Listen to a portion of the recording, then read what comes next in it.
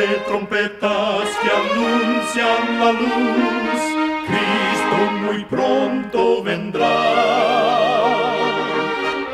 Escuchan ustedes el programa mundial La Voz de la Esperanza, que proclama un mensaje cristiano de paz, de seguridad y de amor.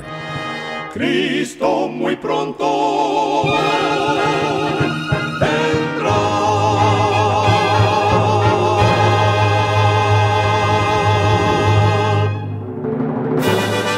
Queremos extenderle una muy cordial bienvenida a este su programa, La Voz de la Esperanza. Nos sentimos muy contentos de que nos puedan acompañar una vez más. El día de hoy tenemos preparado un programa muy especial para usted, con música selecta y un tema relevante para estos tiempos de labios del director y orador, el pastor Omar Grieve. Para obtener este programa, solo entre a www.lavoz.org.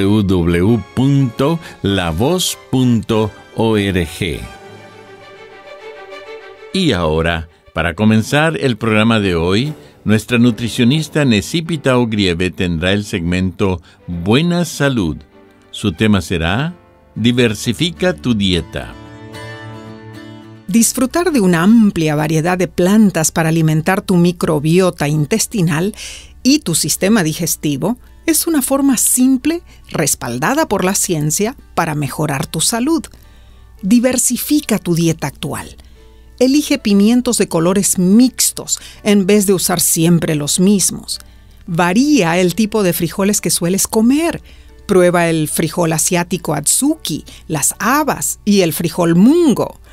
Come vegetales que no has probado antes, como el bok choy o repollo chino, las alcachofas, el nabo y la col rizada.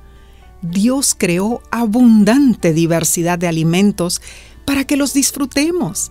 Diferentes alimentos contienen diferentes fuentes de macro y micronutrientes. Entonces, incluir alimentos variados a tu dieta ofrece a tus comidas sustancia y variedad y al mismo tiempo el espectro de nutrientes que necesitas para estar saludable. Recuerda, cuida tu salud y vivirás mucho mejor. Que Dios te bendiga. Voz de la esperanza te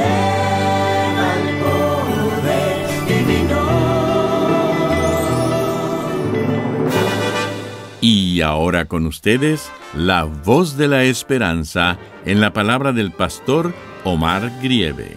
Su tema será Nunca me olvidaré de ti. Queridos amigos oyentes, el libro de Isaías capítulo 49 versículo 15 dice, ¿Se olvidará la mujer de lo que dio a luz para dejar de compadecerse del hijo de su vientre? aunque olvide ella, yo nunca me olvidaré de ti. En cierta ocasión quedé impresionado con el rótulo de un noticiero que decía, Madre lleva a sus hijos a ver una película y los abandona. Esto ocurrió en julio del 2023 en Cancún, México. Según contaron algunos testigos, a la mitad de la función, la madre avisó a sus hijos que iba al baño y les pidió que continuasen viendo la película. Los niños esperaron durante largo tiempo hasta que la cinta concluyó, pero su madre nunca regresó. En la mente humana, el amor de una madre a menudo se considera el más fuerte y bello. Tristemente en este mundo de pecado hay dolorosos casos de madres que abandonan a sus hijos. Sin embargo, el amor de Dios trasciende lo mejor que este mundo tiene para ofrecer. A Dios le es imposible olvidarnos. En primer lugar, Dios nos recuerda constantemente, pues nos ama y desea salvarnos. Deuteronomio capítulo 7, versículo 7, nos asegura, os ha querido Jehová y os ha escogido. Además, Dios nos ayuda constantemente. Él percibe cada penuria en nuestras vidas y obra en nuestro favor para ayudarnos a sobrellevar las dificultades. Mateo capítulo 6, versículos 31 y 32 nos promete lo siguiente. No os afanéis por vuestra vida. Vuestro Padre Celestial sabe que tenéis necesidad. Conjuntamente, Dios nos considera permanentemente. Dice el Señor en Isaías capítulo 49, versículo 16. En las palmas de la mano te tengo esculpido. La palabra esculpir no es lo mismo que escribir.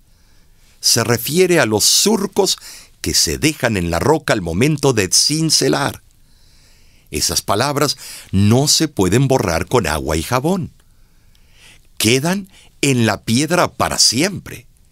Esta es la idea de Dios al decir que estamos esculpidos en sus manos. Él no puede olvidarnos. Eso es amor celestial.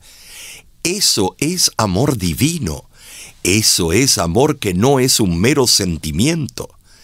Es la esencia de Dios. Él nos demuestra su grande y dulce amor a través del profeta en Jeremías capítulo 31, versículo 3, cuando dice, Con amor eterno te he amado. Nada ni nadie puede silenciar ni contener el amor de Dios por nosotros. Quizá recuerdes la historia de aquel niño que se avergonzaba de su mamá, porque tenía sus manos deformadas y cicatrizadas. La madre, notando la actitud reticente de su hijo, pacientemente le contó que cuando él era un bebé, un terrible incendio envolvió a su casa. Cuando ella se percató del fuego devastador, sin pensarlo dos veces, subió al segundo piso donde estaba durmiendo su bebé. Tomó el niño y se lo amarró a la espalda, resuelta a salir del edificio. Pero ya no pudo usar las escaleras. Todo estaba envuelto en llamas se vio obligada a descender por la tubería del agua que estaba extremadamente caliente. Ella no titubeó. Aunque se quemó sus manos, logró salvar a su bebé. Al oír por primera vez la conmovedora historia de los labios de su mamá, el niño emocionado reconoció que su madre tenía las manos más bellas del mundo. El sacrificio que hizo Dios para salvarnos fue más grandioso aún. En su infinito amor, Jesús extendió sus brazos y ofreció sus manos para que fueran clavadas en la cruz. Lo hizo para que seamos perdonados y tengamos la esperanza de vida eterna. Amigo, amiga que me escuchas, no estás solo, eres valioso, importante para Dios. Él nunca se olvidará de ti. Hoy te digo con seguridad que puedes confiar en las promesas divinas. Números capítulo 23, versículo 19 afirma que Dios no es hombre para que mienta, ni hijo de hombre para que se arrepienta. Te invito a poner tu vida en las manos de Dios. Su presencia siempre velará y obrará en tu favor. Nada sucederá por casualidad. Todo tendrá un propósito. Su poder es capaz de operar profundas transformaciones, aún más allá de nuestra lógica. Aunque estés pasando por dificultades y por el momento no vislumbres ninguna perspectiva de solución, espera en el Señor. Para Dios, el tiempo es imprescindible para que puedas desarrollar fe, templanza y paciencia. Pero no dudes, Él nunca te olvidará. La próxima vez que la angustia toque a tu puerta, aférrate a las promesas de Dios. Él está a tu lado y susurra a tus oídos. No me olvidaré de ti. Estás esculpido en las palmas de mis manos. Es mi oración que Dios te dé la seguridad de su presencia constante en tu vida y en los tuyos. ¿Hace cuánto estoy parada en esta tierra sin saber de dónde vengo, a dónde voy y para qué? A nada le encuentro sentido, solo vivo por vivir. Quiero entender cómo termina esa cuestión. ¿Quién le da sentido a mi existencia? ¿Puede darme alguien una explicación? Que en mi condición de indiferencia no encontré la solución. Quiero aprender a vivir con un sentido en mi mente. Yeah. Sabiendo por qué nací y por qué existe la gente.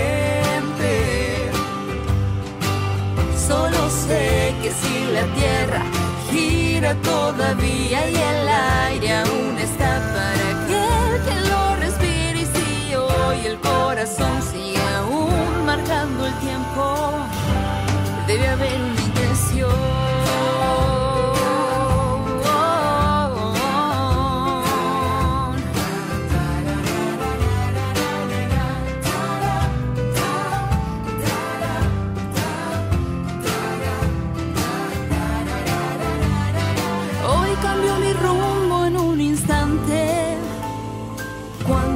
caminante conocí. Me explicó la ciencia tan sencilla de vivir, le dio sentido a la razón de mi existir. Y en unas pocas palabritas resumió toda la explicación. Deja de dar vueltas porque Dios es la respuesta a tu cuestión. Hoy aprendí a vivir con un sentido en mi mente. Oh, oh, sabiendo por qué nací y por qué existe la gente. Hoy yo sé que si la tierra gira todavía y el aire aún está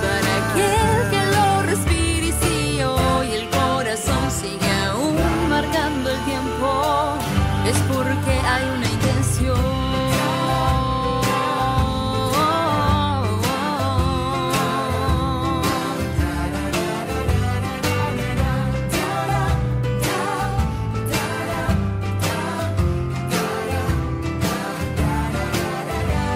Quizá tu corazón esté dolido, quizá no tengas ganas de pelear, quizá hoy tu batalla esté perdida y ya no ves ninguna solución.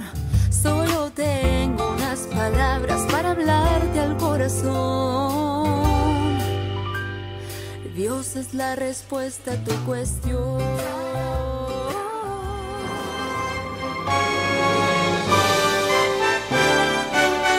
Escuchan ustedes el programa mundial La Voz de la Esperanza. Queremos agradecerle por haber sintonizado nuestro programa el día de hoy. Recuerde que usted puede obtener el programa del día de hoy entrando a nuestra página www.lavoz.org. Ahí mismo usted también encontrará las diferentes maneras de ponerse en contacto con nosotros. Para suscribirse a nuestra página de YouTube, solo entre a www.youtube.com diagonal La Voz de la Esperanza. Muchísimas gracias, amigo, amiga oyente, por su atención. Dentro de una semana, por esta misma emisora y a la hora de hoy, volveremos con otro importante mensaje espiritual. Y ahora, nos despedimos de nuestros oyentes diciendo a cada uno de ellos, Dios te bendiga y te guarde. Haga resplandecer Dios su rostro sobre ti y tenga de ti misericordia. Dios alce a ti su rostro y ponga en ti